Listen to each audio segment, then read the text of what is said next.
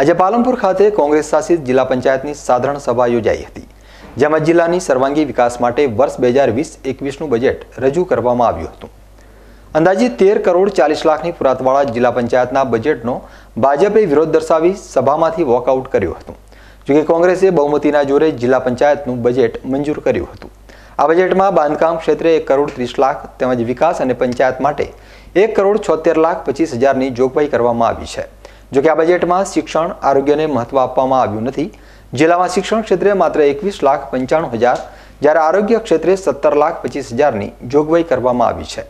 જિલ્લા પંચાયતના વાર્ષિક અંદાજપત્રમાં કુલ આવક વીસ કરોડ એકસઠ લાખની સામે સ્વભંડોળમાં સાત કરોડ વીસ લાખનું ખર્ચ દર્શાવવામાં આવ્યું છે. આમ જિલ્લા પંચાયતના વાર્ષિક બજેટમાં ભાજપના વોકઆઉટ વચ્ચે શાસક પક્ષ કોંગ્રેસે અંદાજિત તેર કરોડ ચાલીસ લાખની પુરાતવાળું બજેટ બહુમતીના જોરે મંજૂર કર્યું હતું.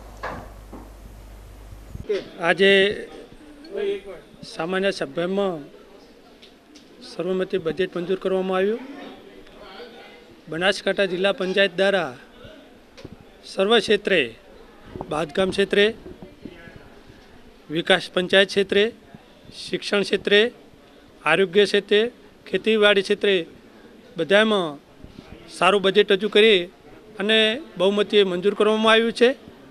અને જિલ્લા પંચાયતમાં મરેંગાનું પણ જે જિલ્લાનો વિકાસ માટે રસ્તાના રોડ હતા એ પણ મંજૂર કરવામાં આવ્યું છે અને અમે સૌ સાથે લઈ અને આમ જિલ્લાનો વિકાસ થાય એના માટે મંજૂર સર્વમતે મંજૂર કરવામાં આવ્યું છે.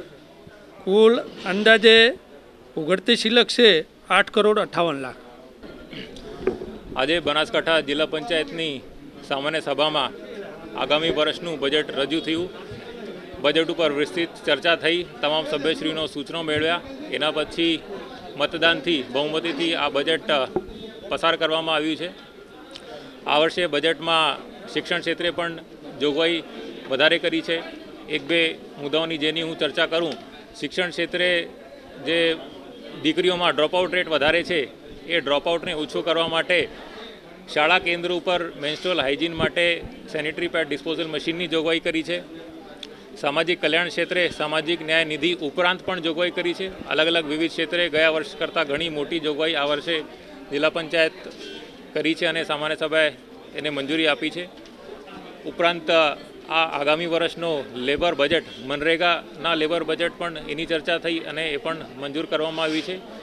આ વર્ષનું લેબર બજેટ ગયા વર્ષ કરતાં ત્રિગુણા છે. એ રાજ્ય સરકારથી પણ અમને સૂચનાઓ મળી છે.